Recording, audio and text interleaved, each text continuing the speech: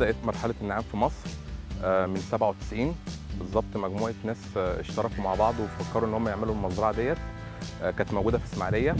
آه، بدأوا يجيبوا طيور من جنوب أفريقيا.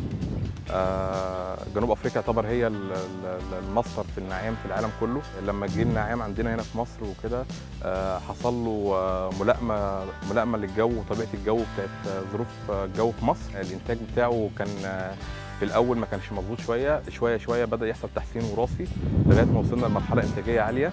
الحمد لله رب العالمين بقينا دلوقتي مصنفين حتى في المنطقة بتاعتنا اللي إحنا فيها منطقة الشرق الأوسط من أفضل الناس بتربي نعام الحمد لله.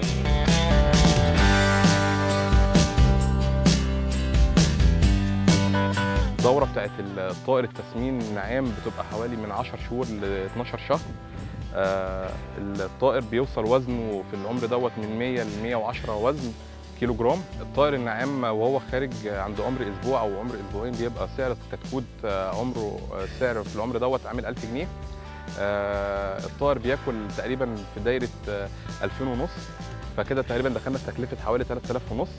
الطائر النهارده لو جيت أبيعه ممكن يدخل حوالي 5 ونص 6 فده طبعا ربحية كويسة بالذات لما يبقى فيه أعداد كتيرة تمام؟ بتبقى على مدار ال 10 شهور ديت بتبقى ربحية كويسة.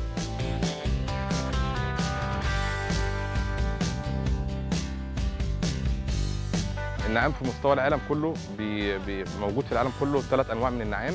النعام الأفريقي اللي هو موجود عندنا دلوقتي اللي هو أسود الرقبة وفي ده بينقسم منه جزئين أحمر الرقبة وأزرق الرقبة. وفي نعام تاني اللي هو في أمريكا اللي هو النعام الريا الأبيض والنعام الإيمو اللي موجود في أستراليا.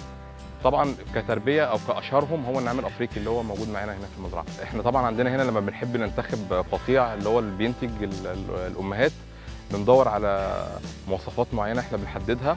ال ال النسبة الجنسية في ال- النعام ذكر لاثنين أنثى.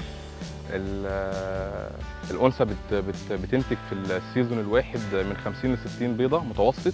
ممكن تزيد عن كده كمان. هي الصعوبات بصراحة اللي بتقابلنا في موضوع تربية النعام أول حاجة طبعا الأعلاف. غلو الأعلاف ده عامل لنا مشكلة كبيرة إن إحنا طبعا الأعلاف داخلة بنسبة آه، 80% من المشروع.